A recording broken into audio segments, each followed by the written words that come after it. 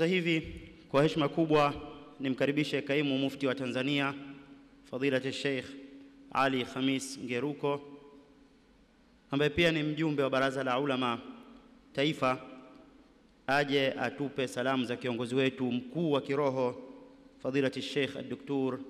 Abubakar bin Zubair bin Ali Mbwana ambaye mwaka jana alikuwa ni mgeni wetu rasmi na mwaka huu alituthibitishia atakuwa na sisi, lakini kwa bahati yuko safarini nchini Moroko kwa ajili ya shughuli za kikazi. Sheikh Ali Khamis, karibu.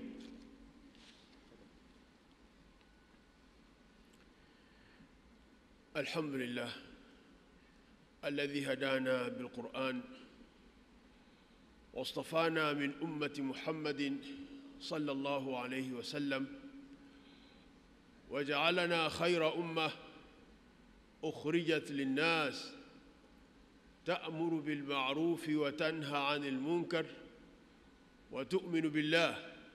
والصلاة والسلام على سيدنا محمد وآله الطيبين الطاهرين وصحابته الغر الميامين ومن تبعهم بإحسان إلى يوم الدين. وبعد Mheshimiwa mgeni wetu rasmi Dr. Hussein Ali Mwinyi, Rais wa Zanzibar na mwenyekiti wa Baraza la Mapinduzi, meza kuu yote, kusema kweli salamu za Mheshimiwa Mufti kwa leo zilikuwa ni nyingi sana,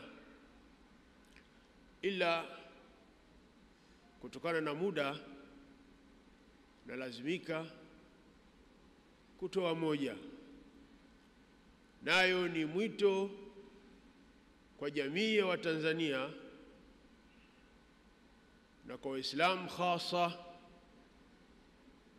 kuendeleza matumizi mazuri ya fursa ya amani, utulivu na mshikamano.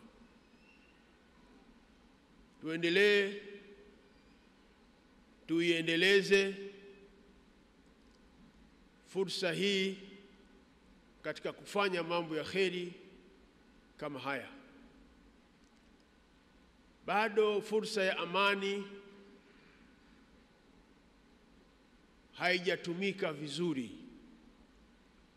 Tujipange katika masuala mazima ya maendeleo na kufundisha kama hivi.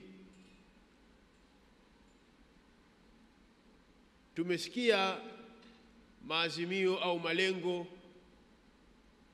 ya chombo chetu hiki kilichotuandalia mashindano haya Al-Khidma. Kusema kweli, ni malengo ambayo yanatia matumaini zaidi.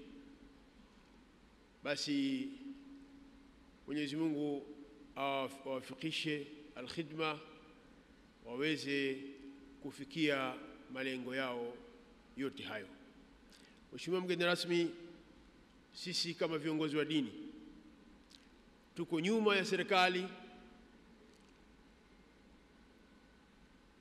kwa kuiombea dua usiku na mchana na pia kuihimiza jamii katika kushirikiana na serikali katika kuleta maendeleo. Wabillahi taufiq, wassalamu alaikum wa rahmatullahi wa barakatuh.